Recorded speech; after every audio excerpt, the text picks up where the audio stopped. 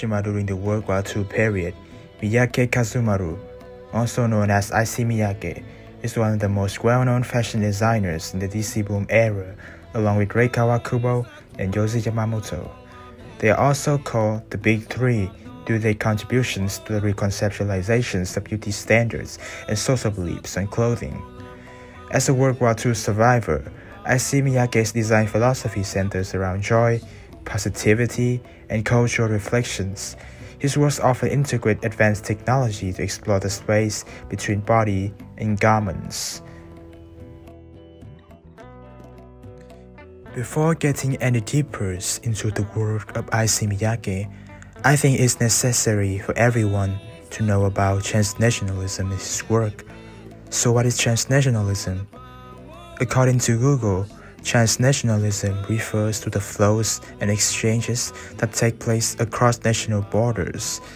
These include, but are not limited to, the cross border movements and circulation of bodies, ideas, information, and things.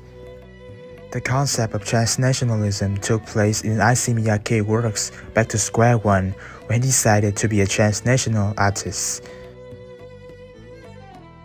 Graduated with a graphic design degree at Tama University, Miyake went to Paris to study more about tailoring and clothing manufacturing, as he already envisioned his future as a fashion designer. During his time in Paris, the designer was fascinated by the abundant amount of Western heritage that he was eager to take in. Later in his career, he recalled, Away from the home country, living and working in Paris, I look at myself very hard and I ask, what could I do as a Japanese fashion designer? Then I realized that my very disadvantage, like a Western heritage, would also be my advantage. I was free from Western tradition or convention, I thought. I can try anything new. I cannot go back to my past because there's no past in me as far as Western clothing is concerned. There was no other way for me but to go forward. The lack of Western tradition was the very thing I need to create contemporary and universal fashion. But as a Japanese person, I came from a heritage rich in tradition. I realized these two wonderful advantages I enjoy. That was when I started to experiment creating a new genre of clothing, neither Western nor Japanese, but beyond nationality. I hope to create a new universal clothing which is challenging to our time. Issey always hates being labeled as a Japanese designer. He believed that being labeled is another form of being imprisoned, trapped in a box when it comes to creativity. Anything can be combined together to create something bigger, beyond nationality or the stratifications between cultures or society. To create something truly original, he encouraged creative and artists to think outside the box to blend different rims and break away from tradition. This ideology had been heavily adopted by the Japanese in the diverse landscapes of art.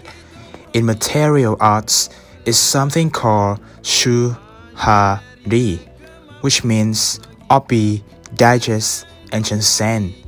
Shuhari represents three stages to become the master of something. At the first step, you learn the traditional fundamental skills, use knowledge as the tool to renshu, which means practice, and achieve essential skills. After that, you retrofit the forms by your own creativity. You detach yourself from all being, abandon all previous disciplines to forge a box fresh idea, a new form, which is ha. At the last step, you achieve the peak of freedom in creativity by opening your soul to embrace different notions from everywhere with a view to diversifying your ultimate vision. Moving back to Issey Miyake, in his works, the idea of cultural infusion has always surfaced under the form of clothing. Especially when it comes to collaborations, his most notorious works with photographers all represent this notion of transnationalism. The first and most famous collaboration worth mentioning here is definitely a publication fabricated by Irving Penn titled Issey Miyake Photographs by Irving Penn. a combination between the eye of a non-Western postmodernist designer and a Western photographer. In this visual dialogue, Issey's work were presented in a formless, amorphous image with white background and the only subject being Issey Miyake items. Irving Penn curated his works in a vague manner, with negative space being used and bold visual use on clothes. To reconceptualize fashion beauty of the West implicit textiles. The urge to escape from the label Japanese designer also brought Issey to Yuriko Takagi. In this project, Rags of rags of Issey works were worn by Indian labor workers in isolated villages. This exchange of identities across national borders made people rethink the importance of geographical perspectives in forming individuality and enriching the culture itself with a fashion context. There are a lot of Issey works from 1995 onwards, feature a range of collaborators from different countries and promote the theme of globalization, especially in his guest artist series, where he led a variety of contemporary artists from various countries used his bleed materials as a canvas to express themselves, using fancy steering colorways and intriguing visual interpretations. One of the most famous performance artists that Issey works with is Cai Guo-Qiang, performance artist who was famous for his use of explosive fireworks to evoke religious beliefs and also philosophical tradition of Chinese people. Together, they joined to create clothing with burn marks resulting in Qiang's use of gunpowder on Issey's garment. Laying on the ground, it forms the shape of a Chinese dragon.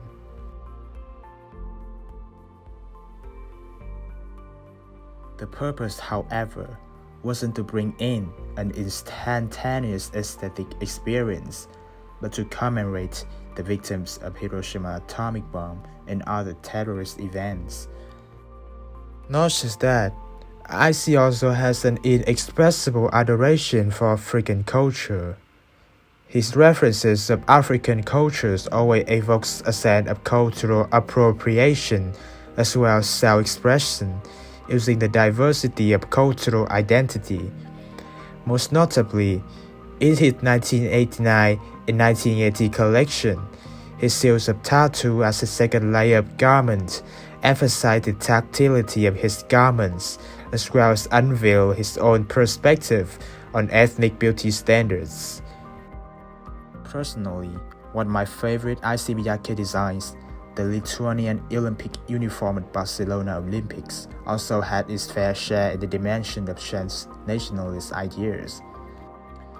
His refined and brilliant use of Mandarin garments fabricated by pleating techniques really turned out an engrossing set of costumes which helped the Lithuanian team stand out from the rest at the 1992 Olympics Barcelona.